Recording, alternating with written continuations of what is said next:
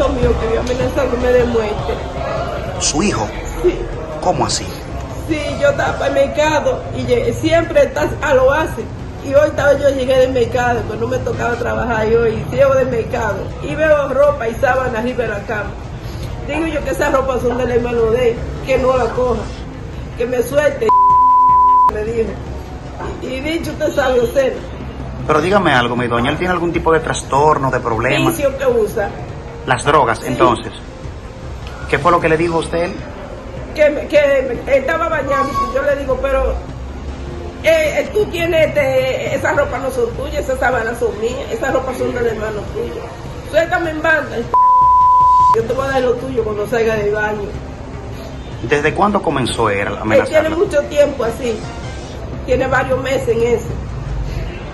Entonces dígame algo, ¿a qué usted ha venido aquí al cuartel? A poner la denuncia para que lo cojan preso, porque ya me tiene ya cansada, no duermo tranquila.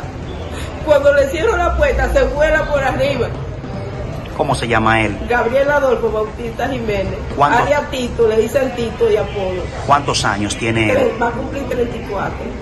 Como madre de él, ¿cómo se siente usted ante esta situación? Al Me saber que... siento devastada, pero es mejor que esté preso y no que me haga un daño a mí o a, lo- a la nieta mía que viven conmigo y a la hija mía, porque ella amenaza con matarla a las tres. frecuentemente lo ha hecho entonces Frecuentemente lo ha hecho, amenazarme de muerte. y ha intentado ponerle la mano, golpearla. No, pero ha dicho esa palabra, todo lo ha dicho eso. Y un día cogió, una noche cogió un colín y se puso en medio de la sala.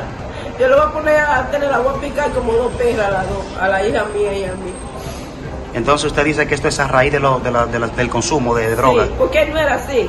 Es de un tiempo acá que está así, después de los vicios que está metiendo, usando. ¿Cuántos años que tiene él? 34 va a cumplir.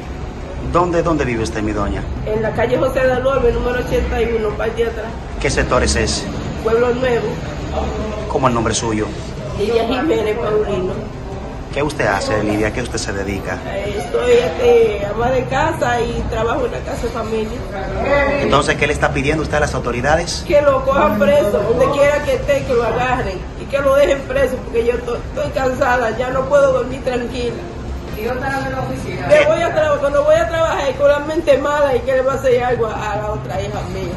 O sea, porque él vive con ustedes. Sí, ese es el problema.